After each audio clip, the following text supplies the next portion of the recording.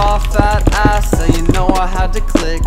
I was down a nut, then I realized something's wrong. I think that that's my teacher, what the fuck is going on? Wait, hold it, I just had a fucking bruh moment.